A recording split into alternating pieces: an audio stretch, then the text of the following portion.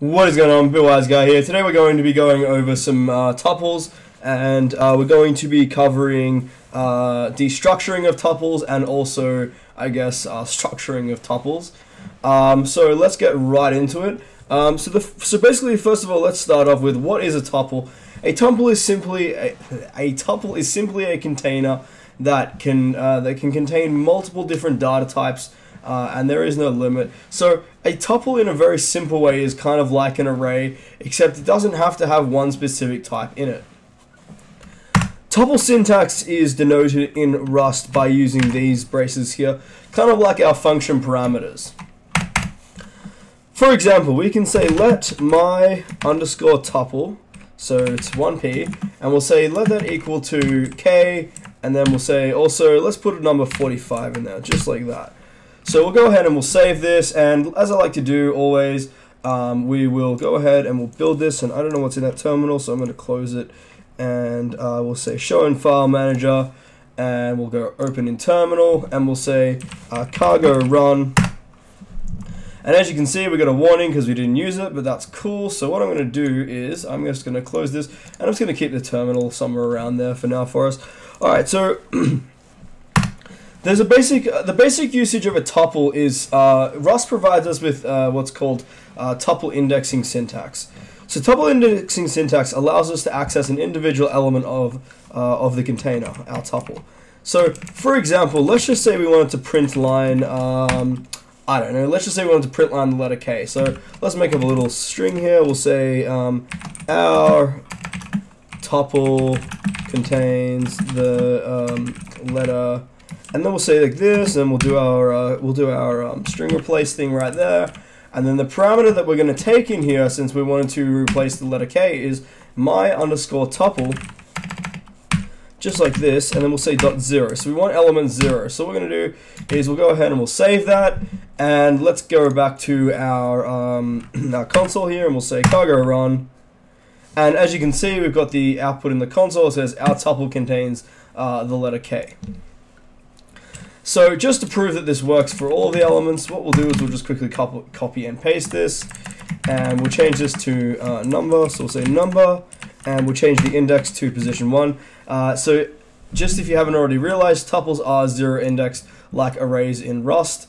So we'll go back and we'll just say cargo run.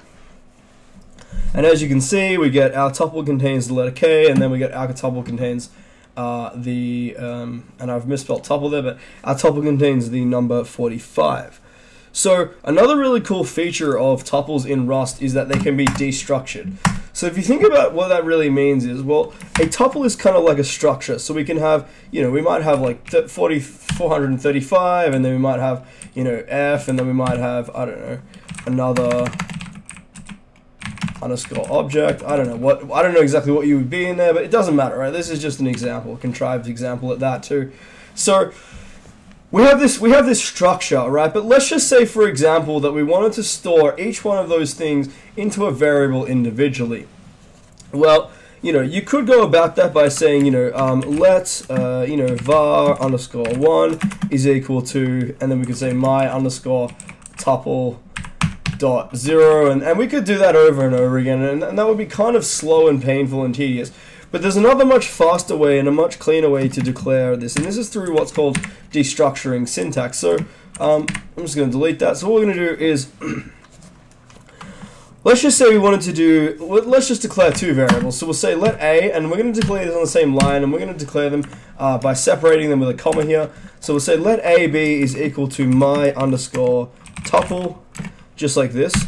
So we'll go ahead and save this, and well, let's go back to our console and build it. So we'll clear the console right now, and we'll say cargo uh, run, and as you'll see, um, oh, sorry, my bad. So I forgot to put the destructuring syntax around this thing. So uh, this denotes to Rust that we want to destructure our uh, we want to we want to create two variables by destructuring a tuple. So go ahead and we'll say cargo run, and as you can see, uh, we've got unused variable A and then we've got unused variable B and as you'll notice we've got two separate warnings for those and the reason is because uh, we've declared two separate variables by destructuring uh, the tuple on the right hand side of the equals operator um, so what we can do now is we can actually print line those so we can say print ln, and um, I'm not gonna put I'm not gonna put anything in fancy. We'll just say literally the word fancy, um, because I don't know what else to put there at the moment.